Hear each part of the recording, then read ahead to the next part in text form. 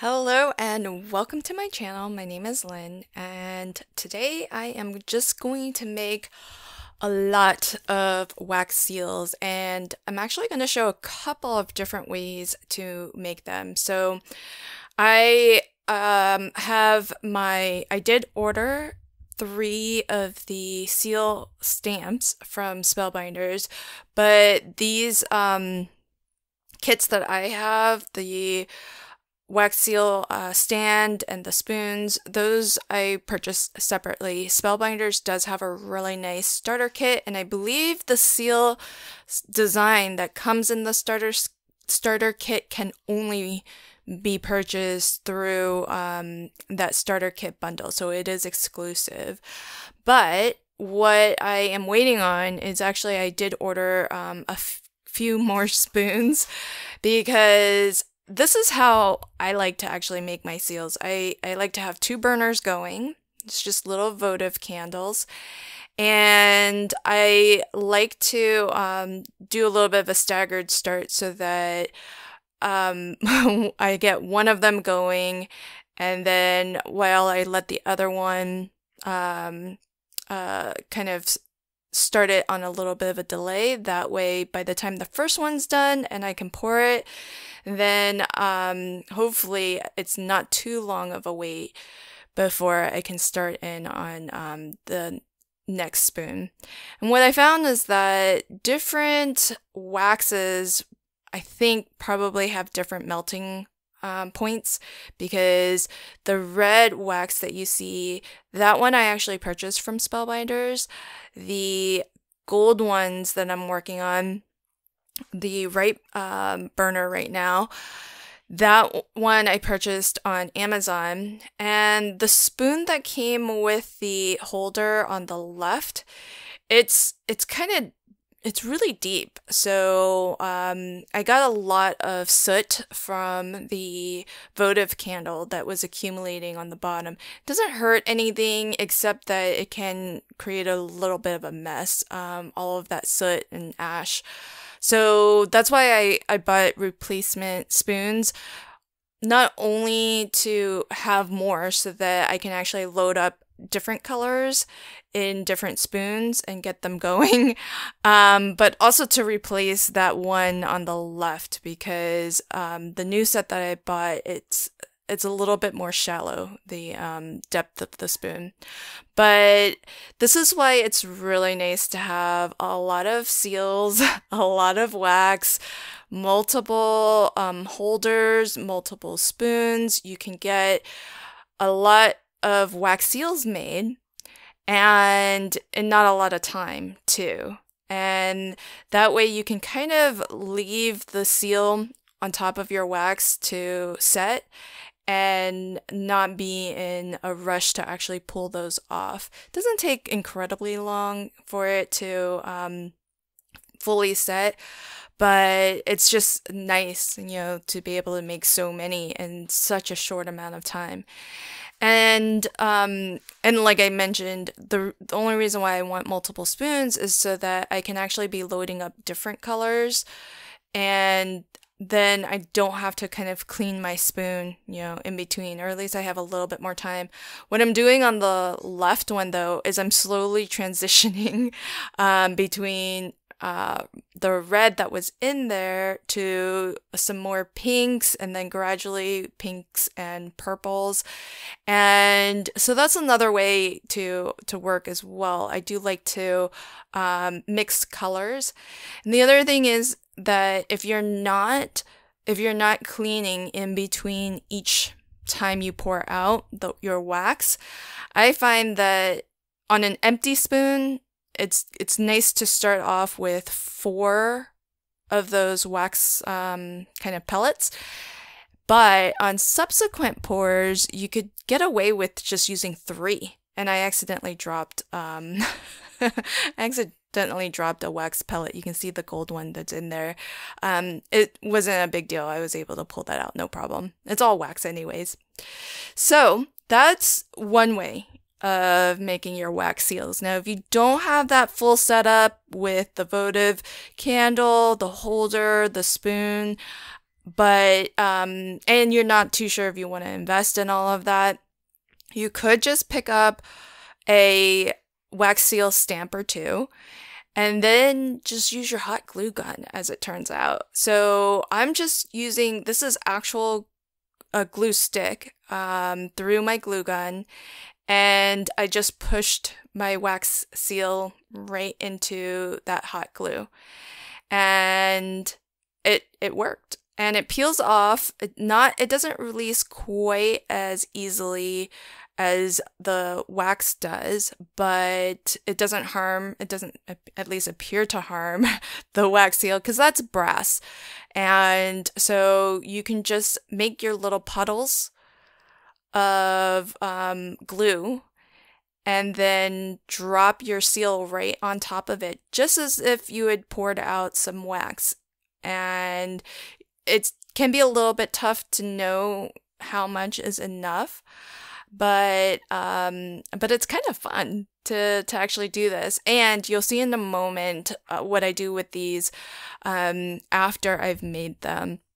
I'm not going to actually make any any uh, cards or any projects. I just wanted to show a lot of different things that you can be doing with your wax uh, seals.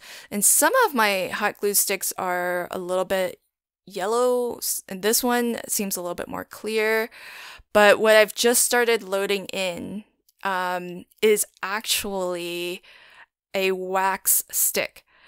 So I'm just working through all of my glue and you'll see in a moment it's going to start getting opaque and uh, a little bit light blue. That's actually wax in that's been designed so that it's uh, in these sticks that are meant to um, be used th- through your hot glue gun. So I um, I'm gonna kind of clear the deck of all of my hot glue seals, not quite wax seals, and you can see on this one I'm struggling a little bit to to release it, but um, it's not like it harms your uh, wax uh, seal stamp, but it's just that it for whatever reason just some of them release a little bit easier than others. But this set here this I think is kind of cool. I didn't realize that this product existed until just recently, and I I ordered um I ordered a bunch in a color uh, that I thought I would love because blue's my favorite color. Um, but I might actually go back onto Amazon and, and look for maybe a variety pack. Um, and I know that you can buy hot glue sticks in a variety of different colors. You can even get like glitter glue sticks and, and things like that too. I just only happen to have clear, but you might want to try this with um, your hot glue sticks that are, if you do have ones in multiple colors, you might want to try it in that as well. But I do find that the um, the actual the wax uh, the ones that are made of wax, those do actually um, release a little bit more easily. And I always, I always make my wax seals on this uh, silicone mat. I never do it directly on a project, mostly because I often like to kind of audition different wax seal colors, designs on my projects, and so I'm never confident enough to just go straight onto my project. Um, and so it's it's just nice to have a bunch of these made up, and then you can um, have a bunch to pick and choose from when you're making a project. And I'll be showing a lot of different projects uh, where I've incorporated some wax seals. So, um, so be on the lookout. Now that I've made uh, another batch of them, I uh, will definitely be showing them on different projects. These are just as bendy and flexible as um, wax seals. I know that was one question that I had uh, whether or not these wax seals were brittle like they used to be uh, back in the day, and they're not. They're bendy, and I think they'll hold up um, if you if you had to ship them through the mail, for example. So just to continue on here, I just want to show with the glue um, variety of quote wax seals. I am I pulled out some of my Nuvo embellishment mousse and I'm just um, smearing the mousse right over the wax seal. Now, on this first one, I did test it out on one um, stamp that that I didn't totally love just to just to see how it looks. And I wasn't too happy with it. And the reason is because I put some of the embellishment mousse on the top where the design is and I don't think it looks very good because you start to lose definition of the design of the seal. So then I decided let me only put this um, Nuvo mousse on the back and see how that looks and whether the the color comes through well enough. And for sure I like this better. It's it's definitely a different look because the glue itself is translucent. So it's a little bit harder to actually see the design, but it does it does have the end result of um of coloring your your seal. Um, and so I definitely think that that this would be my preferred way of of coloring um, clear, you know, glue sticks. And it's it's interesting. It definitely it definitely um, gives more design opportunity because if you are, for example, using a Nuvo product somewhere else, maybe you've made um, a stenciled background using some of your Nuvo products, then you can actually create a wax seal and color it to match, uh, you know, perfectly. So that's definitely something that I think is is kind of cool because I have a lot of Nuvo products, um, and then this way I don't necessarily have to buy wax in in a huge variety of colors. Now I did try once again to um, apply the Nuvo product on the top as well as the bottom, but with this one I watered it down some to see if maybe having that thinner consistency um, helps to preserve the details of the design and it does a little bit. So it's just one of those things that you you kind of have to be willing to get a little bit dirty and and just play with it a bit. Now these are the wax seals actual wax seals and i thought i would uh, have a little bit of play with these too. So another thing that spellbinders sells um, again my products are, are not from spellbinders because I, I already had all of this um, but you can get um, these sort of glitter pens, you could use something like your, um, probably you could use Posca pens, you could use uh, acrylic paint pens, whatever you like. Um, these metallic ones are nice because they have a little bit of that sort of metallic finish. And you can just sort of gently, gently um, kind of uh, brush over your seal design to give just a little bit of um, a highlight to to the design. And i pulled out some of my this is um some cosmic shimmer. And again i'm just using um a well here i'm using a little sponge um just to gently graze the surface, the top surface of the design. And that just, you can see right away, it just brings that design to life a little bit. And you get a little bit of that contrast and um, and that way uh, it kind of highlights it and and makes it all just like a little bit more visible.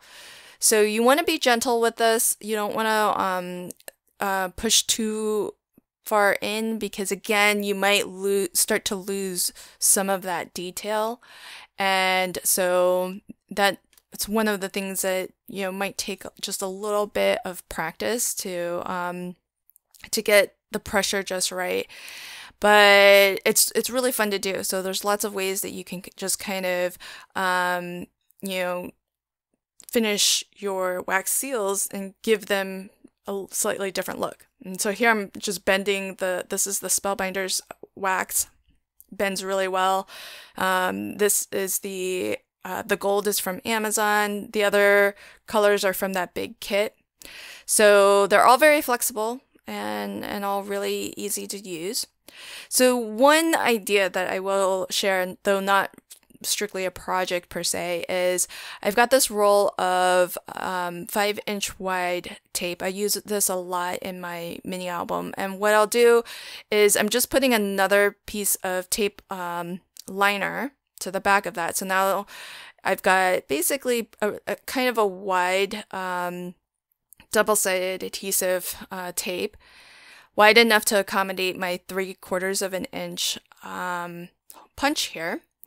And I'm just going to punch out a bunch of these um, basically just little stickers, the double sided stickers, and I'm going to stick it to the back of my wax seals. And one thing that you can do is actually give these away as a gift. Maybe make a set of cards a set of little note cards or maybe a set of cards for different occasions throughout the year. And then include with that a set of wax seals. And i think that makes for a really nice little gift because you um, are not only giving the note cards or you know uh, handmade cards but also these little seals that they can seal their envelope with. And it's just peel and stick for them so that they don't have to do anything special to um, to attach it onto their envelopes. So here is a final look at some of the different seals. So really fun to make these in um, multicolors, in all the same colors. I love the do not open until the 25th. So it's a really fun Christmas one that I got from Spellbinders. I got a nice um, birthday one from Spellbinders too. And also just a general floral, which can be great for every day.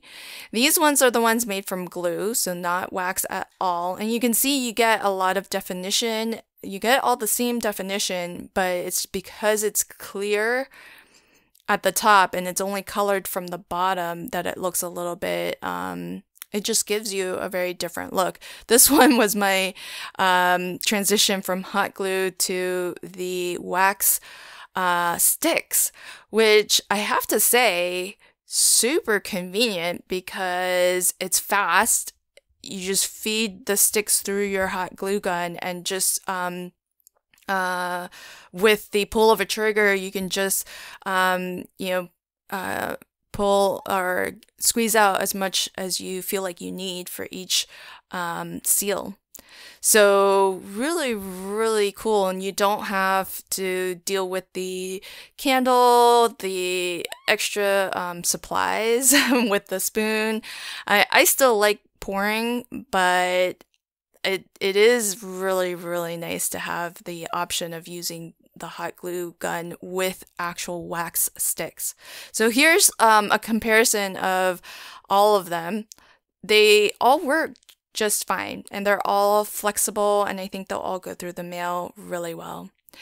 Thanks so much for joining me today. I hope you found this video helpful, and if you did, please consider liking, commenting, and sharing. If you're already one of my subscribers, thank you so much. I really appreciate you. If you haven't already, please consider subscribing to my channel and ringing that notification bell so you get notified whenever I post new videos to my channel.